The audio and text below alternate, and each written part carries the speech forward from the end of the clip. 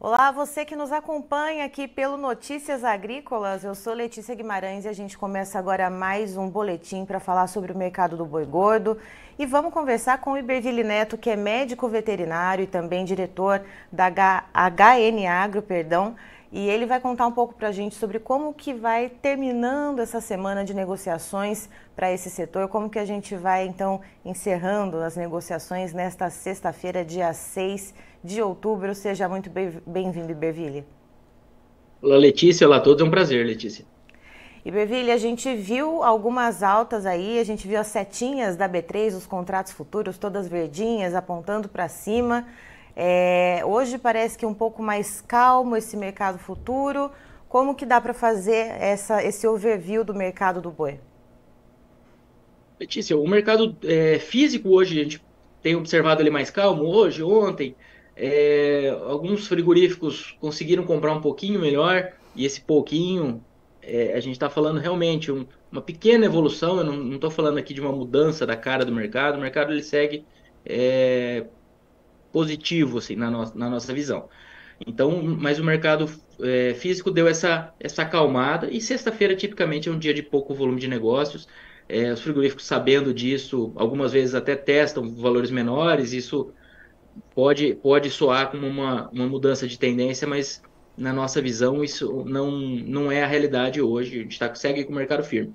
Vamos acompanhar, claro, a evolução da próxima semana, mas na próxima semana a gente tem um fator é, interessante para para esse equilíbrio de oferta e demanda, que é a, o feriado na quinta-feira. Acaba que são dois dias a menos de negociação, basicamente, e isso tende a colaborar um pouco com o, com o mercado nesse início de mês, com o feriado. Então, nós temos um benefício ali do, do feriado também no que diz respeito ao escoamento no varejo e a associação desses fatores, um pouquinho mais de venda, um, um pouquinho menos de negócio, um dia a menos de negócio, dois dias a menos de negócio, né? Acabam gerando um, um momento um pouco mais positivo para a precificação, com a ponderação de que nós viemos já de, de altas é, consecutivas e fortes. Então, é, tem essa cautela no, no, que diz respeito até que ponto isso vai continuar, mas eu diria que seguimos com, com um cenário interessante para a precificação do boi. E isso, essa acalmada, eu disse no mercado físico, né, pela, pelo final da semana, etc., mas no mercado futuro, ele, a gente está trabalhando ali com, com altas acima de 1%, 1,5% até para outubro.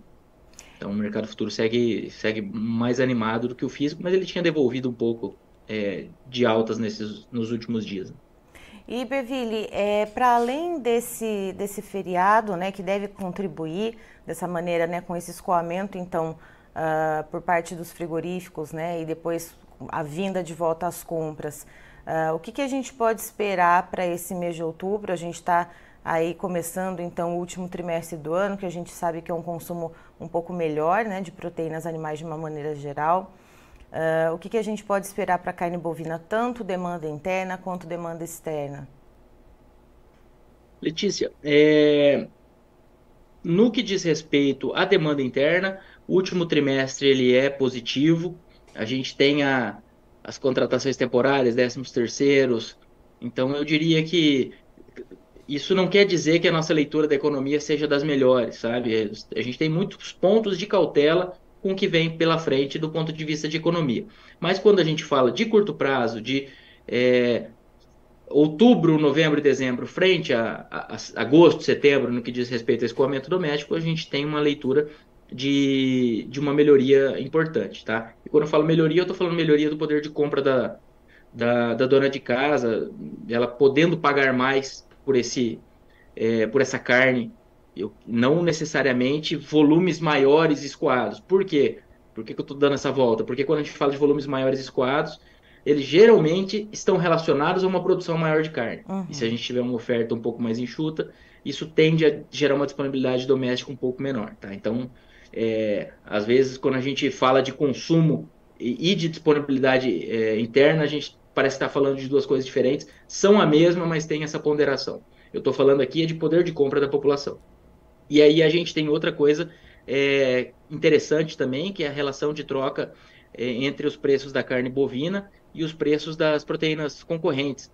É, essa, essa relação ela vem dando uma, uma folga boa para a carne bovina nos últimos meses. Nós tivemos a carne de frango muito competitiva ali em meados do ano e agora é, a carne bovina ganhou um pouco de espaço, está relativamente menos cara do que a carne de frango. Então, quando a gente compara os cortes de dianteiro com a carne de frango, ela, ela ganhou competitividade. Isso é muito positivo para o escoamento.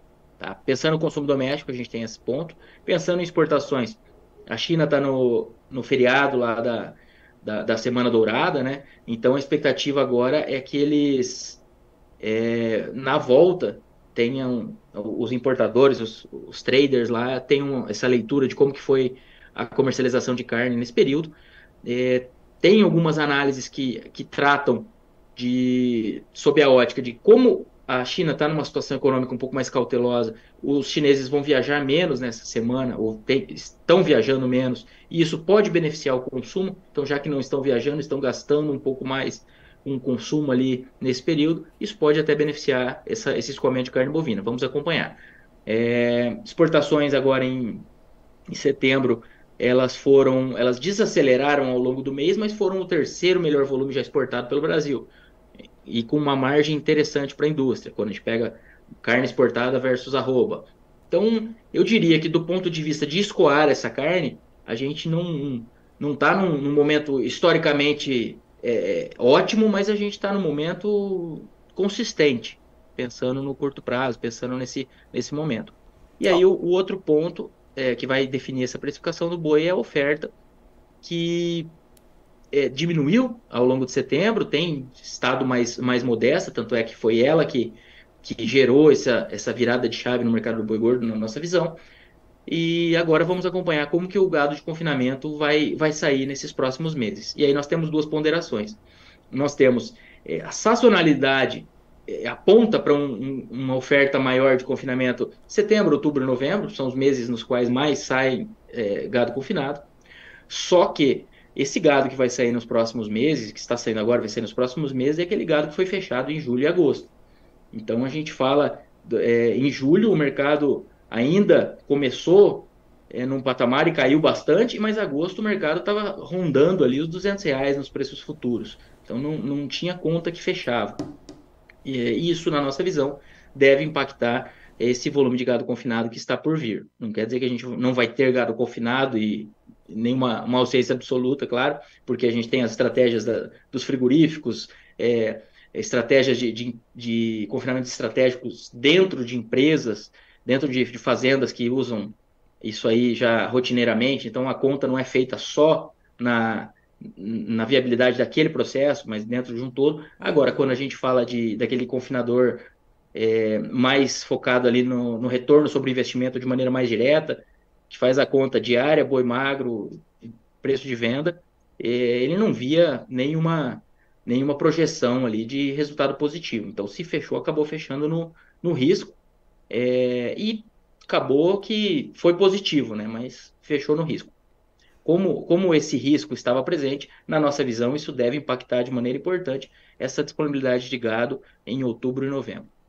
E Beville, é, inclusive a gente estava conversando antes de entrar ao vivo uh, e falando justamente disso, né? Que tinha havido uma queda, vamos dizer assim, né, no, no custo do confinamento, principalmente quando a gente falava ali da alimentação dos animais, é, que era uma oportunidade, mas aí a gente viu aquela quebradeira também né, nos contratos futuros.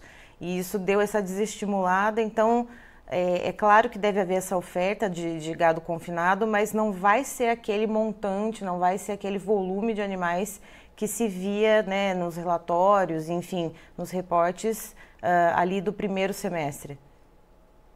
A nossa leitura nessa direção, sim, Letícia. Quando a gente pega até o, os dados do IMEA, é, da segunda pesquisa, segundo levantamento de intenção de confinamento, ele fala de uma queda de 4,5%.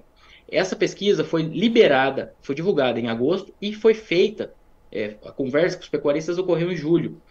Então, quando a gente pega julho, o preço futuro, salvo engano aqui, mas ele ele ele estava empatando, se a gente pegar a média do mês, começo e final, meio que empatando com o custo de, de gado confinado é, em São Paulo. E aqui eu estou considerando média do mês. Ele terminou o mês no, no vermelho, tá? O, a conta do confinamento.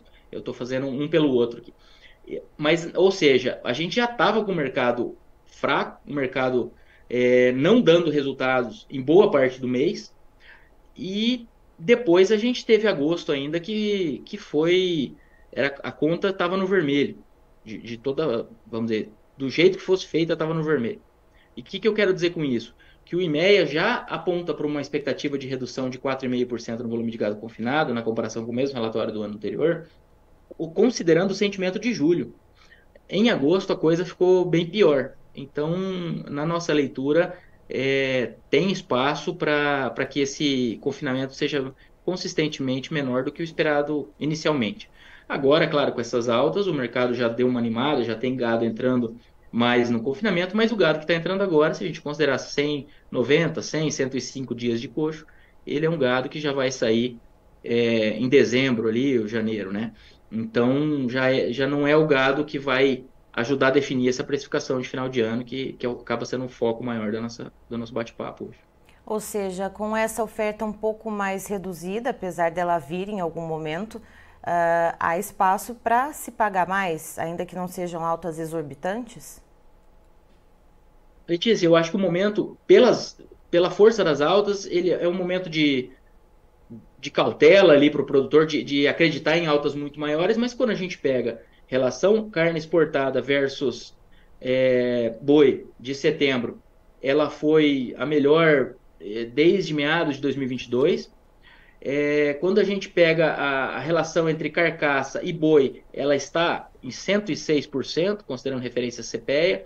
É, numa média histórica, a gente tem essa relação em 98%. O que, que quer dizer 6, 106%? Quer dizer que só a carcaça paga o boi e sobra mais um pouquinho para ajudar a pagar as outras contas ali da indústria, né? Eu não estou dizendo que esse é, o, é a margem da indústria, até porque não tem outras receitas e não tem outros custos, é só carcaça versus boi. Mas, historicamente, está interessante e nos dá um, uma, uma ideia de que existe espaço é, para pagamentos maiores pela arroba se a oferta exigir.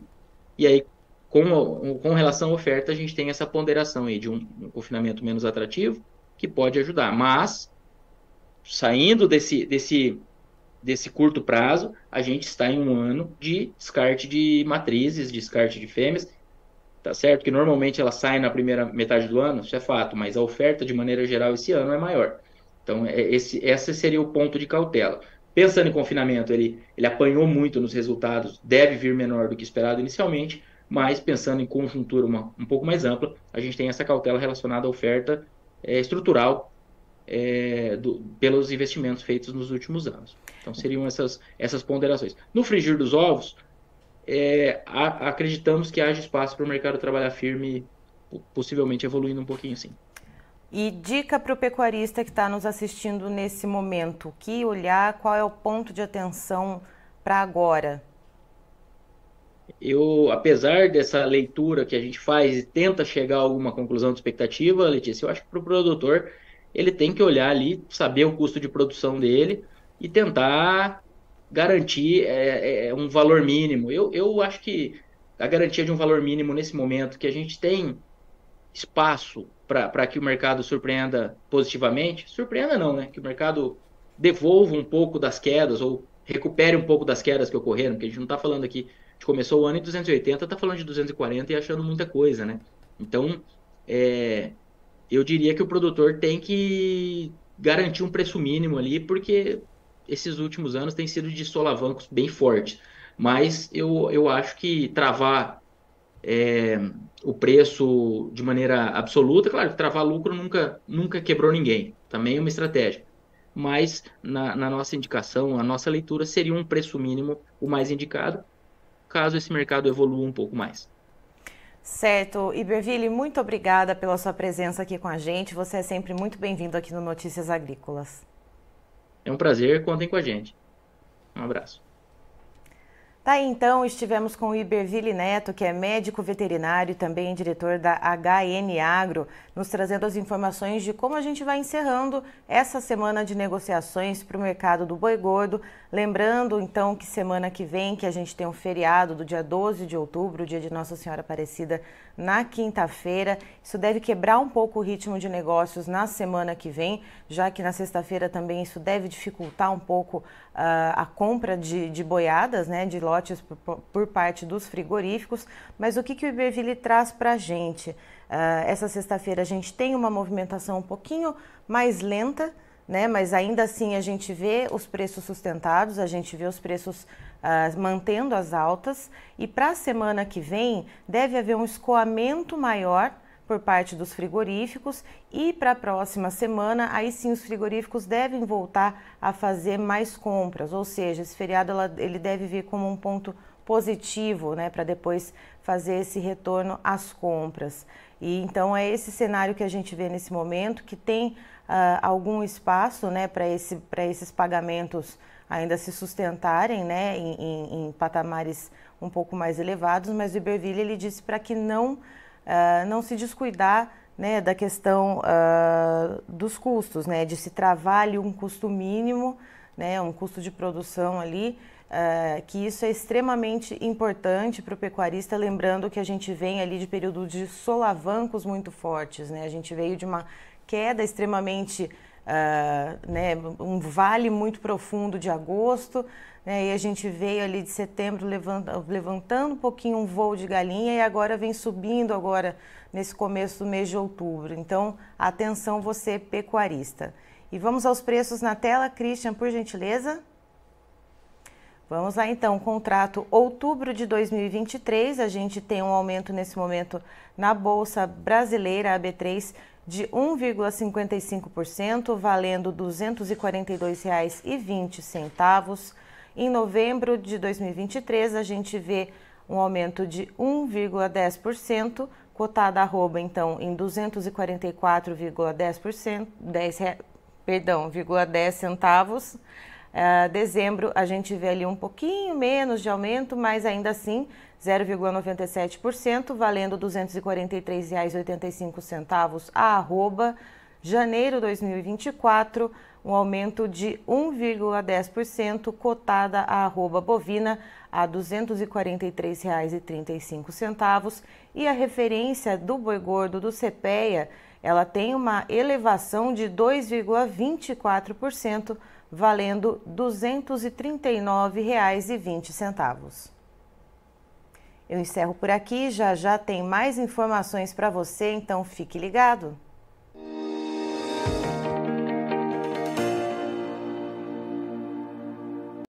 Participe das nossas mídias sociais no Facebook Notícias Agrícolas, no Instagram arroba Notícias Agrícolas e em nosso Twitter arroba Noteagri. E para assistir todos os vídeos, se inscreva no YouTube, na Twitch, no Notícias Agrícolas Oficial.